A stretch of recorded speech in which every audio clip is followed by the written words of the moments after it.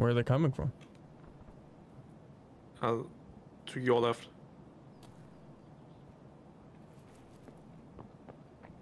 It's a scav. Okay. Are you I'm in- friendly?